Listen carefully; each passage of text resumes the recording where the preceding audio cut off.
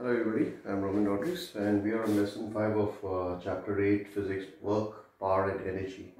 And as you know I'm solving problems on page 132 in the textbook. So let's begin. 8.4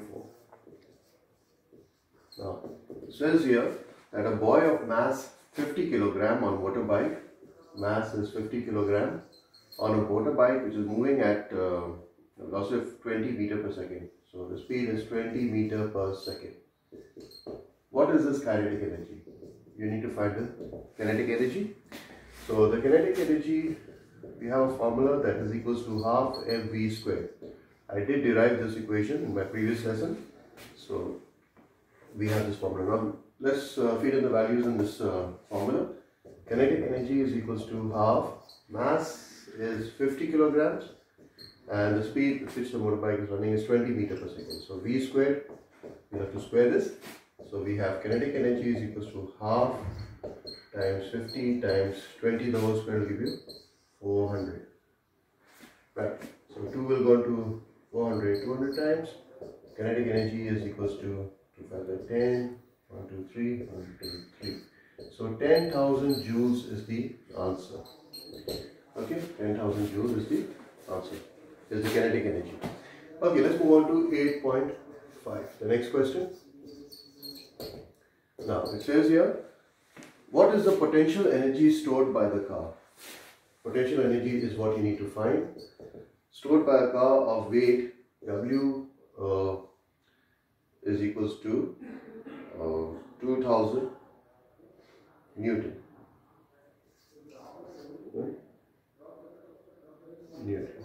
Newton. This is the this is the weight. Yeah, weight. Um, I just put W E I G H T weight over here in order to avoid confusion between weight and work. We're using the same symbol for weight and work, so just making sure that W is the weight over here, 2000 uh, when lifted 50 meters straight up, the height is 50 meters. Okay, so now you know that potential energy, I did derive this in my previous lesson as well, is equals to mgh. Okay, now weight, you know, is equals to mg. So I can replace this as wh and uh, w is known, the weight is known to you as 2000 newton times height is 50 meters. When I work this out, I get 5 to the 10 1, 2, 3, 4. 1, 2, 3, 4. I get 100,000 joules, the unit of potential energy. Oh, there you go.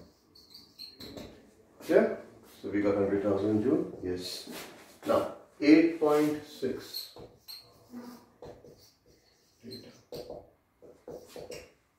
A box is pushed 5 meter across a level surface. Now, the distance is 5 meters or displacement. Okay same thing in this case. Uh, by horizontal force of 200 newtons the force applied is 200 newtons how much work is done on the box? Work is what you need to find out. Just clarifying thing this is work okay? Or let me put it as WD in order to avoid confusion between weight and work is equal to so work done is equals to uh, force into distance okay or displacement. So work done is what you need to calculate. Force is 200 newton times distance covered is 5 meters. So this will give you 1000 5 to the 10 yes. 1000 joules. This is your work or work done. Okay 1000 joules is the correct answer so hence uh, i hope it is clear uh, we saw some uh, questions today. I mean, in fact, three questions, but based on energy, kinetic energy, and potential energy. So, I hope it is understood clear to you all. And then the third question was uh, about work, that uh, work is a product of force into displacement. Right? Hope to see you in the next lesson. Till then, take care.